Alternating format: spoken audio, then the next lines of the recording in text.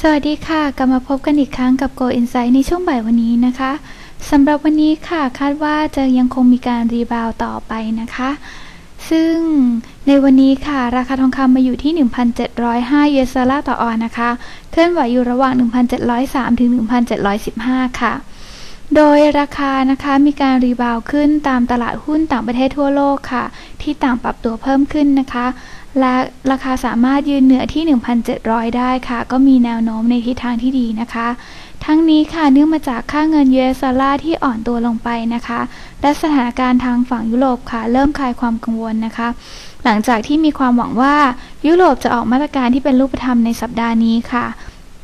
ซึ่งจะทำให้กองทุน EFSF นะคะ สามารถดำเนินการได้ค่ะ ถ้ากองทุนดังกล่าวนี้สามารถดำเนินการได้ก็จะลดแรงกดดันนะคะ ต่างๆในทางฝั่งยูโรโซนได้ค่ะประกอบกับค่ะการรายงานของ IMF นะคะ ที่จะมีแผนเข้าช่วยอิตาลีค่ะ ก็ช่วยเป็นแรงหนุนอีกทางหนึ่งค่ะ แต่อย่างไรก็ตามค่ะจากข่าวที่ ที่ออกมาในช่วงบ่ายนะคะที่ IMF ออกมาปฏิเสธค่ะว่าไม่ได้มีการหาลือในประเด็นดังกล่าวที่จะมีการให้เข้าช่วยเหลืออิตาลีค่ะ ก็กดดันราคาทองนะคะ เล็กน้อยค่ะ ดังนั้นก็คาดการว่า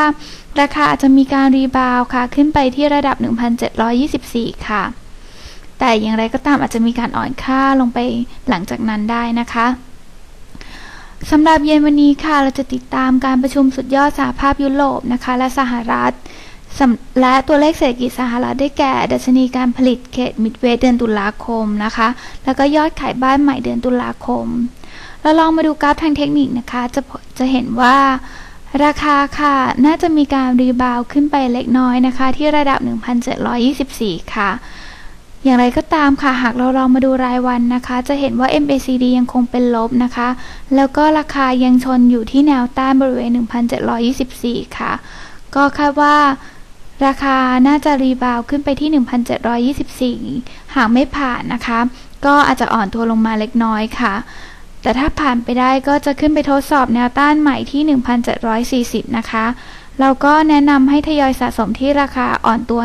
1,705 นะคะ โดยมีเป้าหมายทำกำไรบริเวณ 1,724 และ 1,740 ค่ะ สำหรับการวิเคราะห์ตลาดทองคำในวันนี้จบลงเพียงเท่านี้นะคะ ขอบคุณค่ะ